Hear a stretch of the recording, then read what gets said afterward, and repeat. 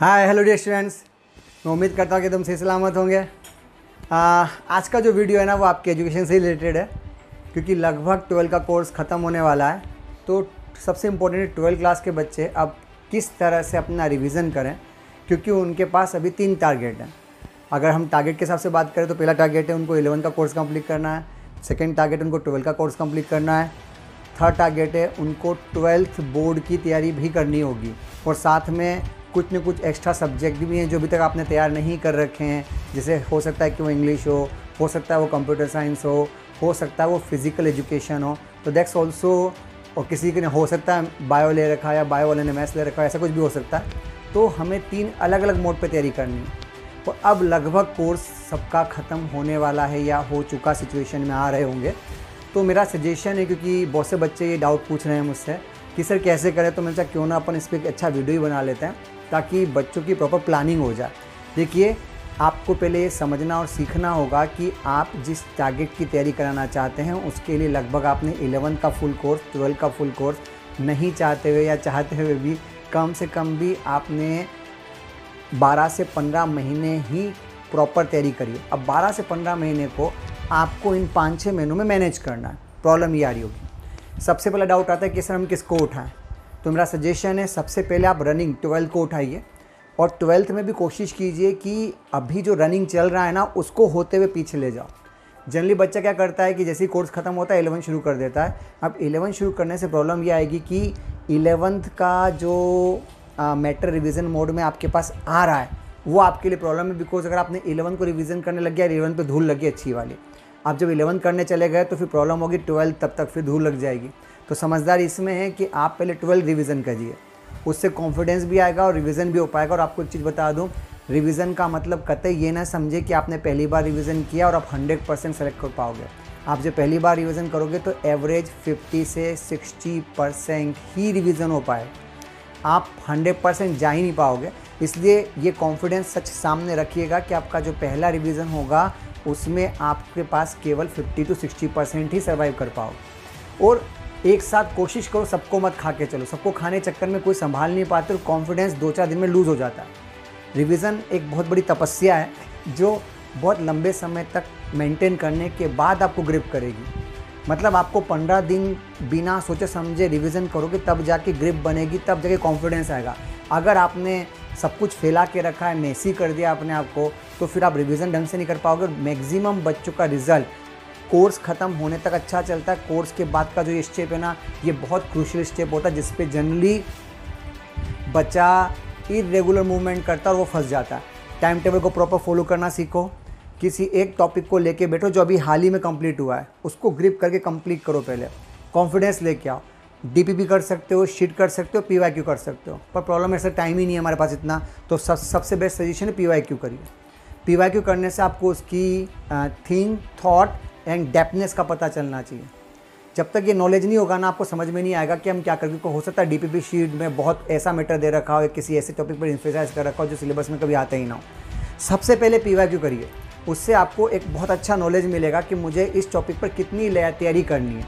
That's experience will be much more helpful except as teacher as a student आपको वो फ़ायदे में काम आएगा। तो सबसे पहले पी वाई कंप्लीट कीजिए। और किसी एक सब्जेक्ट के पीछे एक बार शुरुआत तो कीजिए, क्योंकि आप दो चार दिन में रिज़ल्ट आना आउटपुट आना ज़रूरी हो जाता है। जब वो कॉन्फिडेंस आएगा, तब अपने आप आगे बढ़ने की कोशिश करना। जैसे जैसे पंद्रह दिन या बीस दिन हो जाए, और आप एक एक सब्जेक्ट पे ऐसे आगे बढ़ने की कोशिश करोगे तो क्या होगा, आपकी सारी एनर्जी एक ही सब्जेक्ट पे जाएगी। मुझे पता है कि मोनोटोनस हो जाएगा फ्यूचर में, पर बेटा, अभी पंद्रह दिन तो आप ऐसे ही चलो। एक बार पंद्रह दिन आप ऐसे चल लोगे ना तो उसके बाद फिर आप दो तीन सब्जेक्ट को साथ में रहते हुए हैंडल कर सकते हो। मेरा सजेशन है कि आप मैथ्स और फिजिक्स को पहले हैंडल कीजिए। केमिस्ट्री में बहुत सा पार्ट रट्टाफिकेशन है, उसे आप बाद में भी हैंडल कर सकते हो। पर ये दोनों आपको ज़्यादा टाइम भी कंज्यूम करेंगे तो ये आपके लिए थोड़ा सा प्रॉब्लमेटिक हो सकता है। तो आप पहले मैथमेटिक्स या फिजिक्स पर ध्यान दीजिए। That's very very important for you इसके सिवा एक और इंपॉर्टेंट पॉइंट जो मुझे समझ में आता है कि हमको क्या क्या करना चाहिए। सबसे पहले आपने ट्वेल्व के पार्ट को कंप्लीट कर लिया। टेस्ट सीरीज़ के पीछे भी मत मांगो जब तक आप एक बार फुल सिलेबस को रिवाइज ना कर लो, तब तक टेस्ट सीरीज़ के पीछे भागना बेवकूफ़ी होती है बिकॉज़ हमें लगता है हमारी प्रैक्टिस हो रही है। एक तो तीन तीन घंटे के छः घंटे टाइम वेस्ट होता है।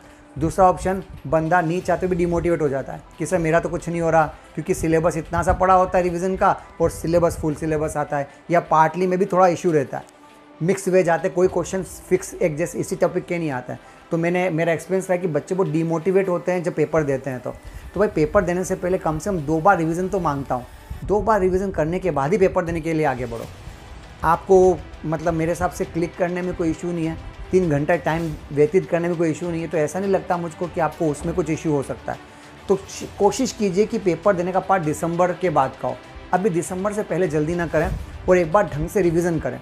एक बार ट्वेल्थ रिवाइज करने के बाद इलेवंथ रिवाइज करें और साथ में अपना पहली बात एक पढ़ के रखें एक रजिस्टर प्रॉपर मेंटेन करें। 300 पेज का 100 pages for physics 100 for maths and 100 for chemistry उसको 30 30 40 में डिवाइड कर लीजिए। Organic physical and inorganic 40 pages का। और उसको प्रॉपर डिस्ट्रीब्यूट करिए और कंसेस फॉर्म में वो सब मैटर में इकट्ठा करते रहने दीजिए। क्योंकि अभी से प्लानिंग करेंगे, तब जाके लगभग जनवरी, फरवरी के आसपास फुल सिलेबस दो तीन बार होगा। तब जाके आपके पास 300 पेज का रजिस्टर अवेलेबल होगा, जो तीन घंटे से पहले वाले दिन काम आएगा।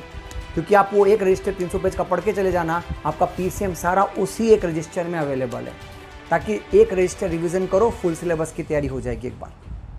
ये बहुत ज़रूरी है। फ्यूचर देखते हुए अभी से अपना प्लानिंग सेट करिए, तब जाके हम सही रैंक और सही अप्रोच तक पहुँच पाएँगे। हम अपने एफर्ट्स अच्छे लगाएँ और तुरंत आउटपुट नहीं निकलेगा, आपको दो महीने का टाइम लगेगा, दो महीने के बाद पता चलेगा कि हमारा आउटपुट क्या निकला है। जो बच्चे जल्दबाजी में क्यूरियस होकर जल्दी आउटपुट की कोशिश करते हैं ना तो जितना आउटपुट जल्दी आता है ना, वो मेंटेन नहीं रहता, वो फिर डिग्रेड भी हो जाता है। तो कोशिश कीजिए, दो महीने तक तमीज़ से रिविज़न कीजिए और अपनी लाइफ को दो पार्ट में डिवाइड कर लीजिए। ये बहुत ज़रूरी है ताकि आप बैलेंस कर पाओ अपने ट्वेल्थ के पार्ट के लिए भी और अपने आई के पार्ट के लिए भी, क्योंकि दो के भी डिवाइड करोगे तो आप आसानी से कहानी को डील कर पाओगे।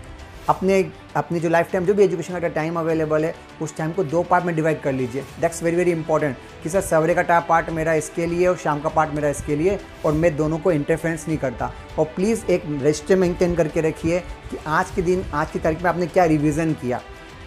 और जब भी दो चार मिनट का टाइम मिले, एक बार पत्ते पलटना सीखिए।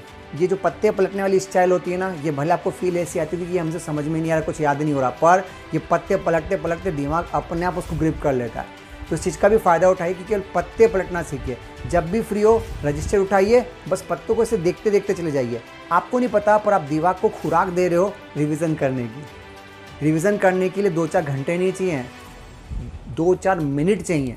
बस, इस मोड पे आ जाओ कि मिनट में भी आपका काम हो रहा है। अगर आपने ये मोड सीख लिया ना टाइम मैनेजमेंट के अंदर तो आप, आपका रिवीजन भी फटाफट होगा। तो एक बार एक बार प्लीज़ रिवाइज करके पंद्रह दिन के बाद मुझे फीडबैक दीजिए कि आपको कैसा लग रहा है। कॉन्फिडेंस आ रहा है या नहीं आ रहा? है ओके बाय बाय